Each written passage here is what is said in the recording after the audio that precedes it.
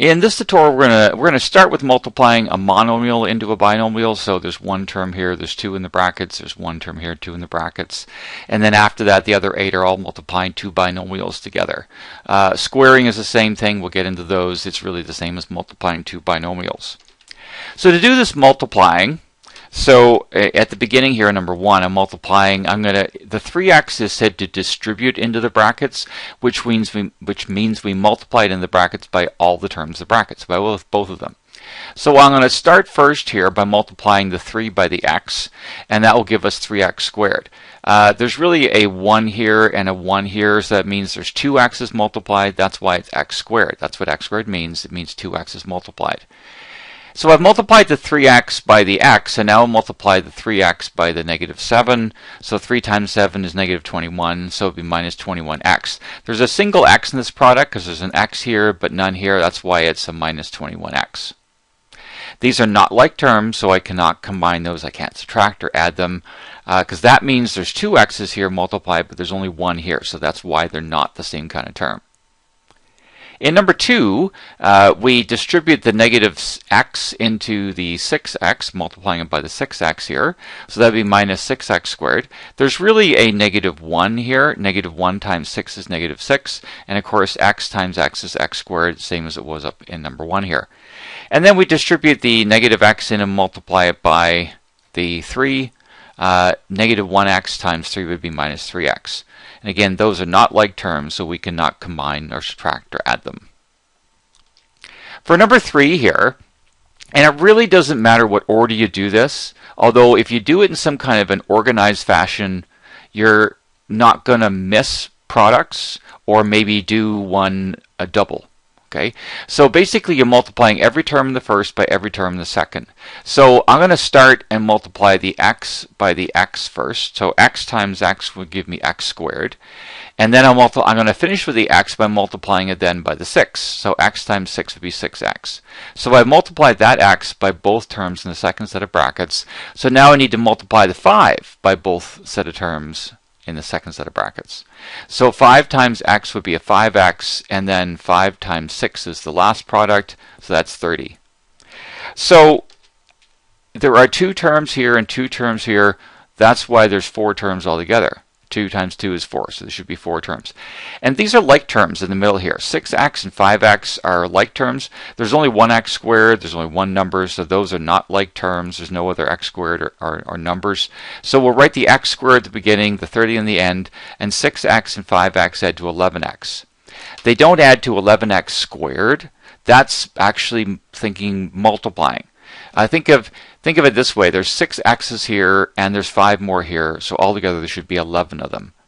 Um, think of it think of an x as an apple. If you had six apples and five more apples, you would have 11 apples. You wouldn't have like 11 apples squared, for example. Okay, so adding like terms, subtracting like terms, you stay with the same kind of term. In number four here, so we would start by multiplying the x by the 4x, and that will be 4x squared and then x times the negative 2 is minus, uh, 2x, and then 3 times 4x, 3 times 4 is 12, so that would be a 12x, and 3 times negative 2 would be minus 6. And these are the like terms here, Okay, so there's only one 4x squared term, so we write the 4x squared down. Negative 2x and 12x add to 10x. That's really the same as 12x take away 2x is 10x. 12 minus 2 is 10. And then we have the minus 6 in the end. Uh, number 5 up here. So I'm going to start by uh, expanding the x in and multiplying it by that x. So that will be x squared. And then we'll multiply the uh, uh x by the 3 here. So that will be a 3x. And then negative 8 times x is minus 8x. And negative 8 times 3 is minus 24. And again, there's the like terms. They're often in the middle. Okay, not always, but often in the middle. So we'll write the x squared term down first. 3x take away 8x is minus 5x and a minus 24 in the end. Uh, remember, remember your integers 3 take away 8 is negative 5. It's not 8 take away 3. Uh, think there's more negatives here than positives, so the answer should be negative. Or think of a temperature scale. If the temperature was positive 3 and it went down 8, it would be at negative 5, minus 5 here. Uh, number 6, uh, we would uh, first multiply the 4x by the 2x to give 8x squared. And then 4x times 5 would be a 20x. And then negative 1 times 2x would be a minus 2x. And negative 1 times 5 is minus 5. And again, there's the like terms, so the 8x squared gets written down.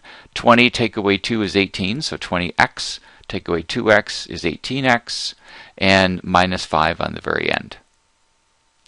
Uh, for number 7, uh, x plus 4 squared means an x plus 4 times another x plus 4.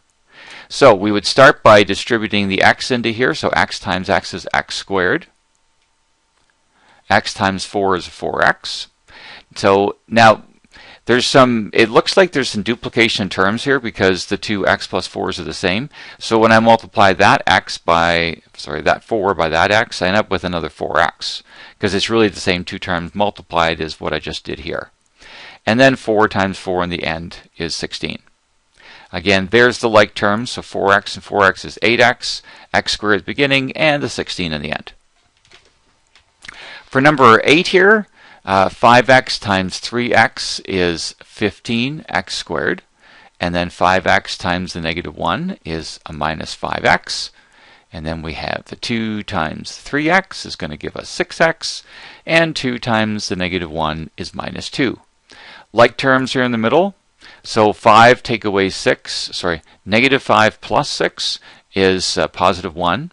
Same as 6 take away 5 is positive 1, so it's the same idea x squared term the end, the, the beginning, the 15x squared, uh, there's no other x squared terms, and the minus 2 goes on the end.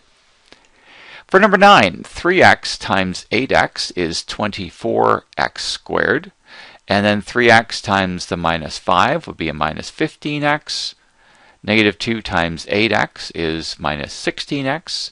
And negative 2 times negative 5, two negatives multiply to a positive, so it's plus 10 in the end. There's the like terms, so 24x squared at the beginning. Uh, those two, negative 15 and negative 16 add to negative 31. And we have the 10 on the end. Uh, last one here, now 5x minus 4 squared means there's two 5x minus 4s multiplied. So we would start by 5x times 5x is 25x squared. And then 5x times negative 4 is negative 20 x, there's a single x in that product, so it's minus 20x. And then negative 4 times 5x is the same thing, another minus 20x. And negative 4 times negative 4 is plus 16. Again, like terms in the middle, two negative 20s multiplied to a negative 40. So 25x squared minus 40x plus 16 is the final answer for number 10. And that's the end of the tutorial.